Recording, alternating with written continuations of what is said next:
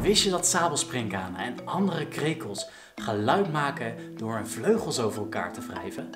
En die geluiden zijn bijna de hele dag te horen, van 3 uur s middags tot 3 uur s avonds. En daarmee proberen de mannetjes de vrouwtjes te lokken. En hun gechirp is wel 100 meter verderop te horen. En als ze dat met z'n allen tegelijk doen, maakt dat een enorm kabaal. Wil je meer fantastische dierenweetjes? Abonneer dan op dit kanaal. Dit was Biovlog Wild. Stay tuned voor het volgende dierenweetje.